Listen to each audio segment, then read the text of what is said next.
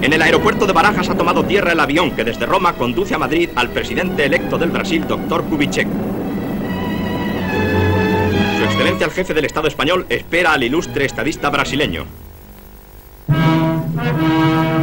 El generalísimo Franco, a quien acompañan los ministros, Consejo del Reino, presidente de las Cortes y otras altas autoridades, saluda cordialmente al insigne huésped y efectúa después las presentaciones.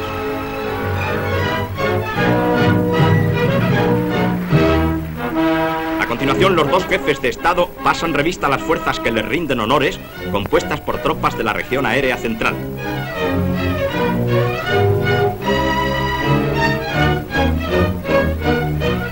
En el coche de su excelencia ha sido colocado el guion presidencial brasileño junto al del jefe del Estado español.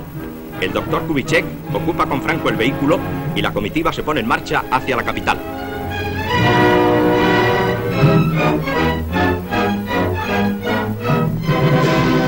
En el Palacio del Pardo, su excelencia el generalísimo procede a la imposición de la Gran Cruz de Isabel la Católica al ilustre político, evocando la significación del nombre de aquella egregia reina y abrazó después al presidente condecorado.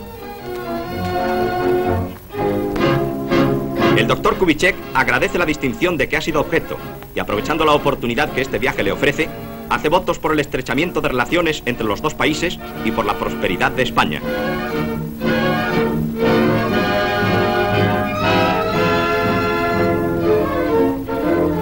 Seguidamente, ambos jefes de Estado celebran una charla de carácter amistoso. Acompaña al generalísimo Franco el ministro de Asuntos Exteriores español, señor Martín Artajo, y al doctor Kubitschek, el embajador brasileño en Madrid.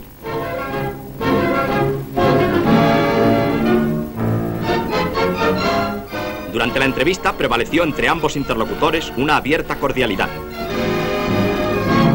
La ciudad universitaria de Madrid es uno de los lugares que se honran con la visita del doctor Kubitschek. Con objeto de conocer las instalaciones, el presidente electo del Brasil visitó el Colegio Mayor Hispanoamericano Nuestra Señora de Guadalupe y en su recorrido por estos lugares le acompañan el ministro de Educación, señor Ruiz Jiménez, y otras altas autoridades.